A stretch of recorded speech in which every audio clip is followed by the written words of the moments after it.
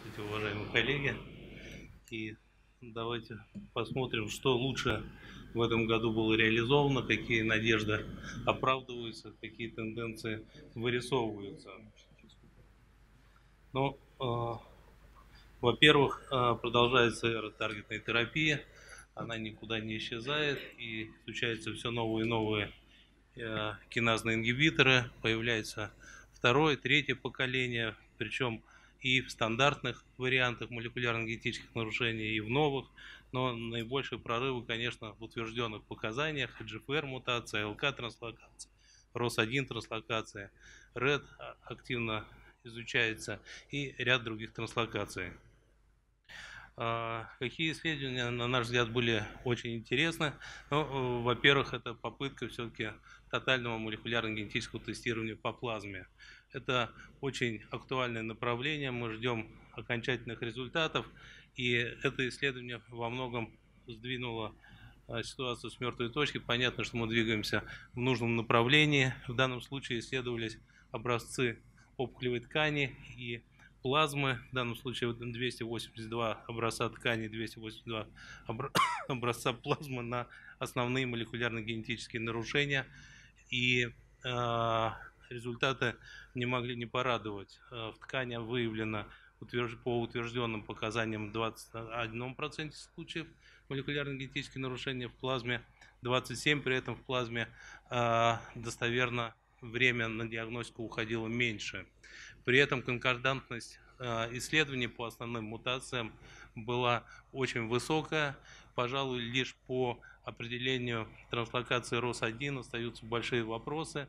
И я думаю, это будут дальнейшие исследования. По EGFR мутации конкордантность постепенно вообще приближается к 100%, а по АЛК транслокации, БРАФ мутации, это показатель колеблется в зависимости от тестов где-то от 70 до 80 процентов очень уверенно. Но э, определять надо, определять можно. Э, дальше та самая борьба, которая разворачивается на наших глазах между представителями, которые отстаивают теорию последовательного э, назначения ингибиторов тирозинки киназ э, в разделе EGFR мутации и э, наилучшей стратегии назначения препарата, который дает лучшие результаты. Вот здесь мы видим, что э, одно из исследований, которое было доложено в этом году, где клинической практике использовался препарат ингибитор второго поколения, афатинип, достигнуты достаточно серьезные показатели по общей выживаемости, а именно это и есть та точка, по которой сегодня пытаются сравнивать эти две стратегии – последовательно и сразу назначение ингибитора третьего поколения. Так вот, для пациентов э, с мутацией в 19 экзоне и статусом ЭКОК 0.1 этот показатель на сегодня составил 36,4 месяца. Достаточно приличный результат. Однако я боюсь, что за этой борьбой э, кое-кто может и проиграть, потому что занимаясь вот такими междуусобными воздействиями, посмотрите, что происходит. Например, эрлатинип с рамуцирумабом, либо химиотерапия с гифетинибом, они уже имеют э, достаточно серьезные выигрыши даже по времени э, без прогрессирования. И в случае, если в этой группе потом появляются изменения в виде 790 мутации и возможность назначения асимертиниба, здесь уже показатели общей выживаемости они отрываются от таковых, как при простой последовательной терапии в монорежиме использования ингибиторов тирозинкиназ, так и назначение сразу лучшей.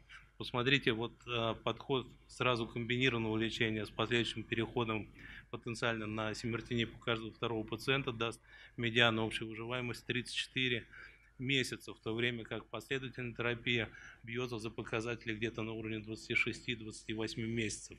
Будем с интересом наблюдать за дальнейшим развитием событий. Что еще? Ну, э, медмутация потенциально э, очень хорошо известна, и попытки делаются большие в предопределении преодоления данного варианта. Сказать, что есть прорывы нет, но тем не менее сочетание асимертиниба и силуметиниба это все-таки некая надежда. И я в первую очередь выделил пациентов, которые в предшествующей линии уже получили асимертиниб. То есть это не группа, которая обозначена синим цветом, где есть Т790 мутации, они еще не получали ингибиторы тирозин киназ третьего поколения. Понятно, что здесь э, частота эффекта 57% будет, это понятно. А вот 17% это уже хоть что-то, потому что альтернативы не было вовсе. И э, эти цифры, видите, похожи на ситуацию, когда есть мутация и нет Т790 мутации, где частота объективного ответа составляет 14%. Еще одним интересным направлением является сдерживание болезни при наличии мутации в 20-м экзоне. И это отнюдь не только мутация Т790М, она составляет где-то около 5% исходно, а вообще таких мутаций около 11-12%. Так что тема не столь бесполезна, и в данном случае пока это номерной препарат, но э, уже есть очень обнадеживающие результаты, противоопухолевая активность, а главное, что медиана время без прогрессирования для этой категории пациентов уже составляет 8,1 месяца. Что еще? Ну, э, мутации тоже не уходят из-под контроля. И опять-таки э, следующая генерация ингибитор Blue 667. И посмотрите, какие удивительно неплохие результаты были получены. Частота объективного ответа 60%, контроль над болезнью 100%. Осталось подождать, э, сколь длителен будет этот контроль но тем не менее по всем направлениям создается ощущение, что движение есть, и у нас появляются неплохие новые перспективы появления в нашей клинической практике новых подходов к лечению. Ну, а, НТРК, вы уже знаете, идет а, массивная атака в этом направлении во всем мире и в нашей стране в том числе идет подготовка к тестированию широкому. В случае выявления есть а, универсальный препарат, и надо сказать, что это не только для немелкоклеточного рака легкого. Вот видите, папиллярный рак щитовидной железы, карцинома молочной железы, глиобластома выявляется у детей. И препарат в общем-то, достаточно эффективен. И в данном случае энтерктинип, посмотрите, насколько хорошо действует при НДРК мутациях не мелкоклеточном раке легкого, что очень важно, что, препарат работает и при метастатическом поражении головного мозга, что, по-видимому, обеспечено хорошим проникновением через гематоэнцефалический барьер.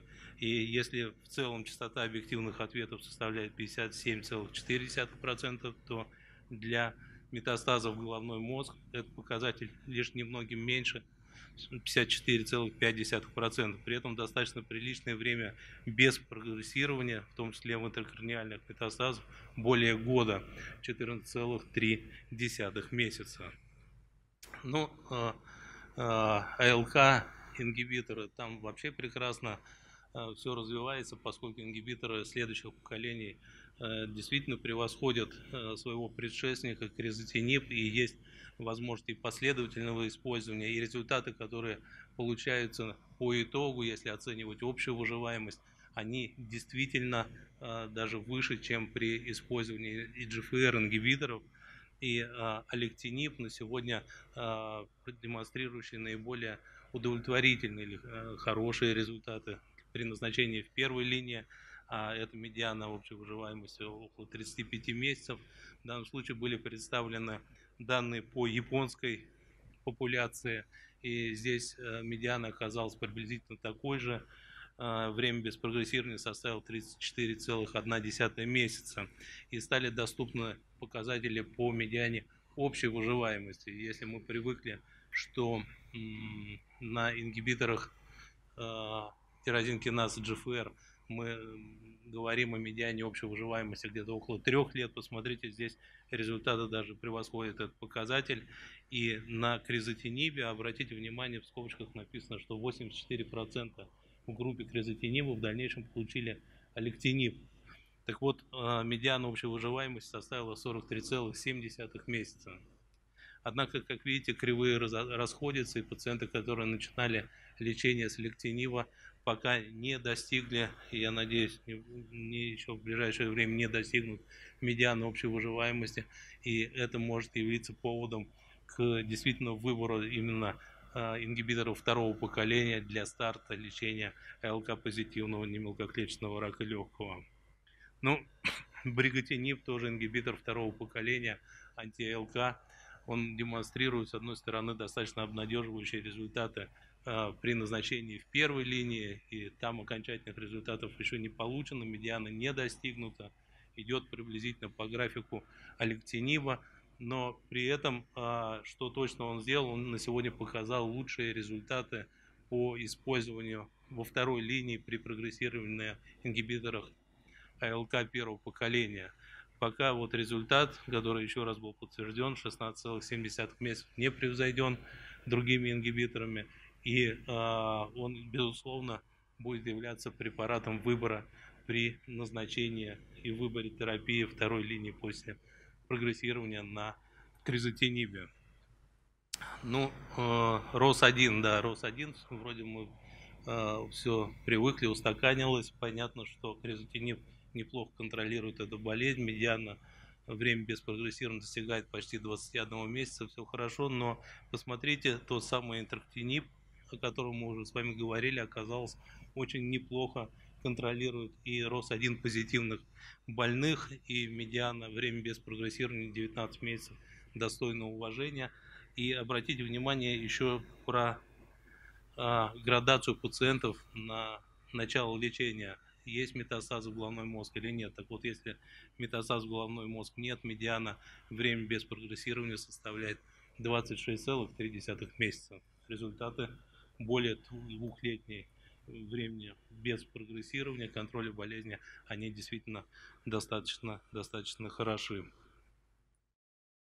Ну, э, наконец, переходя от таргетной терапии к иммунотерапии, хочу сказать, что мы привыкли Э, к тому, что э, если встречаемся с пациентом с активирующими мутациями, то иммунотерапию, как правило, оставляем на конец, в последнюю очередь, поскольку убедительных данных о эффективности иммунотерапии у больных с активирующими мутациями нет.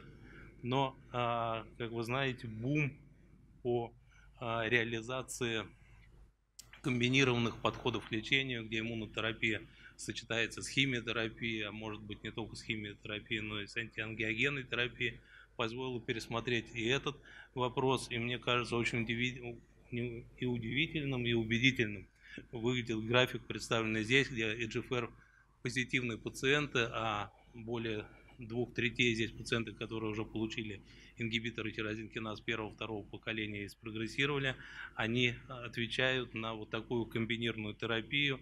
Там очень убедительная и медиана без прогрессирования. Посмотрите, к двум годам медиана по группе, которая получала тезолизумаб с химиотерапией с бевоцизумабом, она не достигнута, двухлетняя выживаемость составляет 65%, и как мы привыкли, в иммунотерапии формируется некое плато, где пациенты, наверное, будут демонстрировать достаточно длительный э, бенефит от назначения данного вида терапии. Так что вот в такой комбинации непонятно, сыграл ли это тозализумаб, сыграл ли цизумаб, сочетание с химиотерапией все вместе, но вот такой условно коктейль сработал очень эффективно. То есть формируются группы, при которых мы рассматриваем разные варианты лечения в зависимости даже от локализации метастазирования. И в данном случае представлена выживаемость, общая выживаемость а, при наличии метастаз в головной мозг. До сих пор, честно говоря, у меня пока не сложилось, не сложилось окончательное решение, как поступать в случае, когда я рассматриваю иммунотерапию у пациентов с метастатическим поражением головного мозга, какие схемы более эффективны, поэтому вот такие поданализы, они очень важны. В данном случае речь идет о лечении неплоскоклеточного рака легкого сочетанием пембролизумаба и химиотерапии. И обратите внимание, что медиана общей выживаемости у этой сложной категории пациентов ну, больше, чем в два раза выше, если это назначалось комбинированной иммунохимиотерапией, чем просто химиотерапия. 19,2 против 7,5 месяцев. Эти данные стоит запомнить, и они могут пригодиться в нашей клинической практике. Какие еще подгруппы пациентов рассматривают? Ну, рассматривают пациентов с метастатическим поражением печени, поскольку во многом эти пациенты демонстрируют один из самых неблагоприятных прогнозов в течение болезни. И э, здесь опять мы можем говорить о сочетании иммунотерапией, с химиотерапией, антиангиогенными агентами. Для этого есть э, некоторые и предпосылки, и научные обоснования. И в данном случае мы видим действительно достоверное преимущество при таком подходе 13,3 против 9,4 месяцев на терапии без привлечения иммунотерапии, в данном случае это зализумабы. Так что 13,3 а, это хороший показатель. Приблизительно такие же результаты получены и при использовании при неплоскоклеточном раке легкого пембролизумаба с химиотерапией. В каком еще направлении двигаются а, исследования по иммунотерапии? Это попытка а, улучшить режимы ведения, сделать их более удобными. И э, вот как пример, это, сказать, использование неволумаба в режиме один раз в две недели, либо с большей дозой, но один раз в четыре недели. И, а, к счастью, оказалось, что режимы равноэффективны. Это действительно более удобно. И, а, опять-таки, не, единичное, не единичное такое наблюдение для неволумаба, так вот модифицированы и дозы, допустим, дурволумаба в исследованиях по ЦИФе, где раньше, так сказать, доза дробилась, и она исходила из э, веса пациента. Сейчас там по единой программе по втором, пятом получают пациенты лечение. Это тоже одно из направлений. Но, а, конечно, общая выживаемость. Чем дольше мы наблюдаем за этим процессом, тем интереснее цифры получаем, тем больше они нас радуют.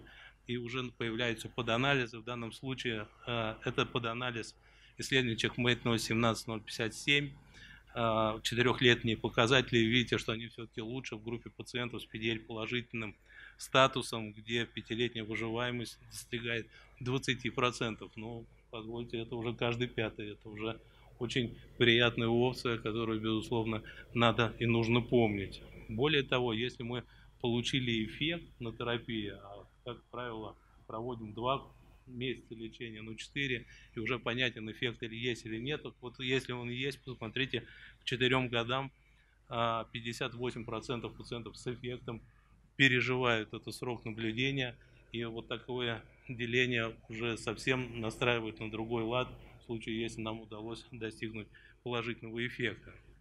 Что еще? Отдаленные результаты по другим препаратам. И в данном случае меня э, порадовали не только цифры, но и принципиально другая концепция. Все-таки более 50% экспрессия PDL-1 это очень серьезно и это хороший прогностический фактор. Но оказалось, что назначая в первой или во второй линии, мы можем получить разные результаты. И все-таки они ну, действительно таковы. Посмотрите, назначая а, в данном случае пембролизумаб пациента с гиперэкспрессией более 50%, мы можем надеяться на пятилетнюю общую выживаемость 35 а, это медиана, извините, на 5 лет 35% живо.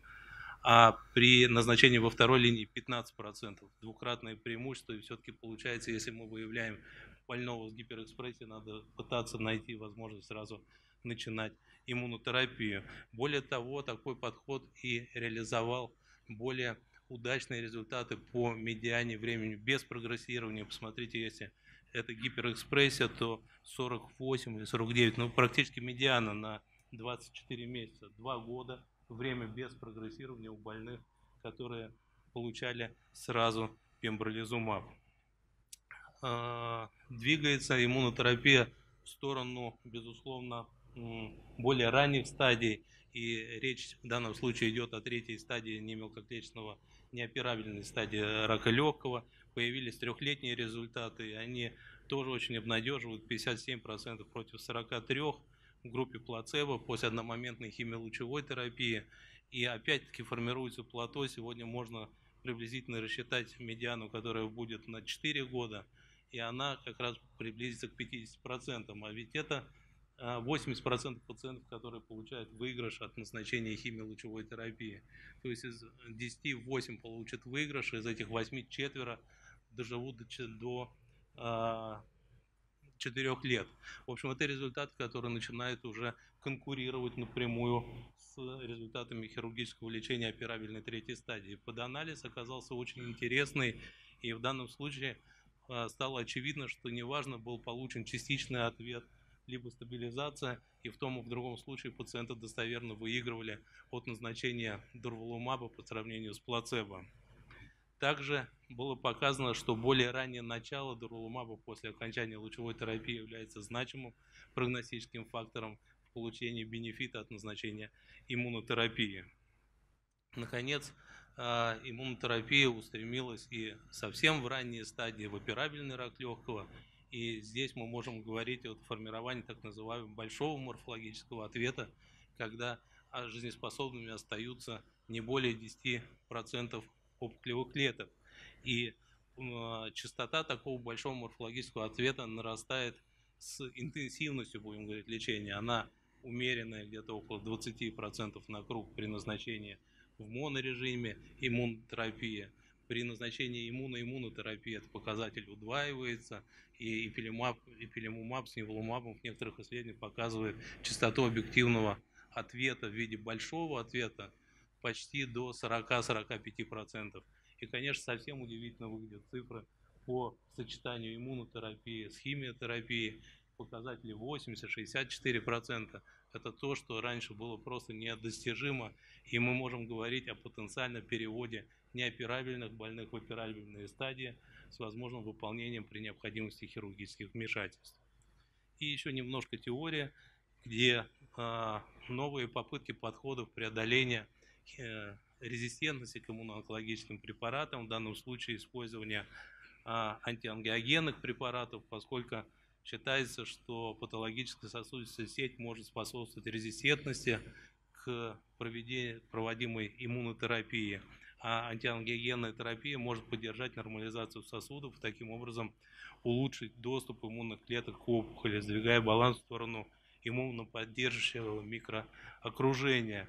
И вот результаты, они пока первые, но они есть. Время без прогрессирования при такой концепции использования нентодониба с сакселом составляет 5,5 месяца. Посмотрим, что получится дальше. Но поисковые работы нужны, и вопросы преодоления развившейся иммунорезистентности очень актуальны. Еще очень интересным направлением, мне кажется, попытка восстановить чувствительность опухоли к иммунотерапии.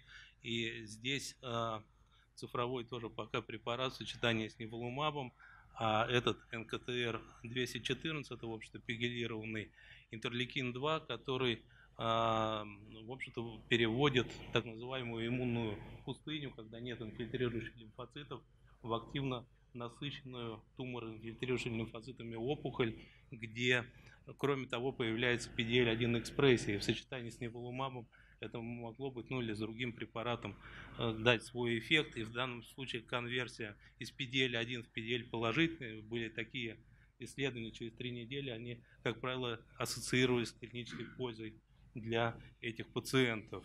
Но в заключение хочу сказать, что слабые скажут не судьба, сильные скажут, я попробую еще раз. А самые сильные, те, кто сидят в этом зале, я надеюсь, будут говорить, что они пробуют до тех пор, пока все не будет так, как мы хотим. Спасибо за внимание. Спасибо. Вопрос, пожалуйста.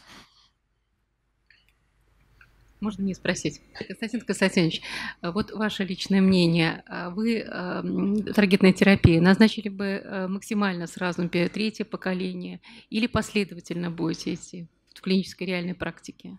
Я на сегодня окончательного решения в этом вопросе не имею, но а, в случае, если у пациента исходно есть поражение головного мозга, я уже свою позицию, по-видимому, определил, это все-таки назначение сразу асимертиниба. асимертиниба.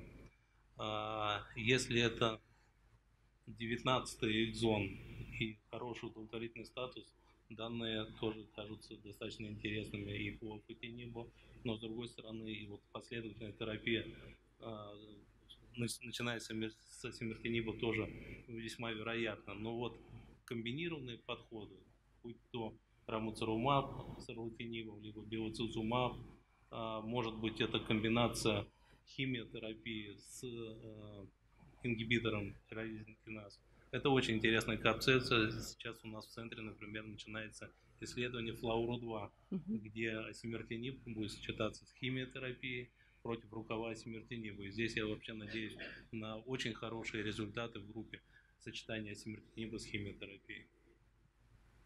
Спасибо. Скажите, а в рутинной практике вы назначаете вот ин- интеркалирующий такой режим, да, вот как химиотерапия плюс? Да, у Ну, нас в прошло центре Блохина. а, исследование, и а, мы начинали с двух месяцев а, ингибиторов тирозинкиназ первого поколения, после чего делали перерыв в лечении, проводили три курса поклитоксела с карбоплатином и возвращались опять на таргетную терапию. То есть мы не дожидались прогрессирования, это была плановая замена. И на сегодня медиана времени без прогрессирования в нашей группе составляет 19 месяцев. Это уже окончательная цифра или это Нет, промежуточная. промежуточная? Мы Да, потому что вы, да, вы показали 34 месяца, это максимальная цифра, да, Нет, был, де- которая была... 19 это ислед- время без прогрессирования. без прогрессирования. Посмотрим. а, дальше, там что в 34 этой это была общая выживаемость. Да, а Мгм. 19, мне кажется, это Тоже да. весьма неплохо при минимальных затратах, будем говорить, ам, государства и, в общем, достаточно неплохой переносимости в этом центре. Спасибо. Константин Константинович, это зависело от мутации, какой вид мутации был? или мы, нет? Делец или... а, Во-первых, брали и 19 и 21 экзон, и, э, если не ошибаюсь, э, результаты по 21 экзону у нас в исследовании пока не уступают э, результатам при 19 экзоне. Мы тоже надеялись или думали о том, что пациенты носители 19 му- мутации ответят лучше. Но оказалось, что может быть это как раз концепция подхода к лечению пациентов с мутацией в 21 экзоне. Спасибо.